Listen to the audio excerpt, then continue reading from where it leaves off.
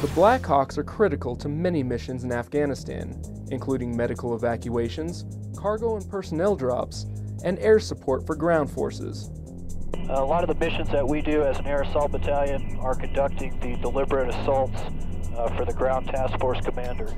Um, if there's specific targets that they want to to get, then uh, we'll bring the helo assault force to their objective uh, within 30 seconds. The Blackhawks and the air crews that fly them are extremely flexible and are trained to adapt to every situation. All right, so some of the additional things that we may do to assist the ground force commander uh, could be convoy security and uh, provide the the convoys with some overwatch as they're transitioning from fob to fob on uh, on the roads here in Afghanistan.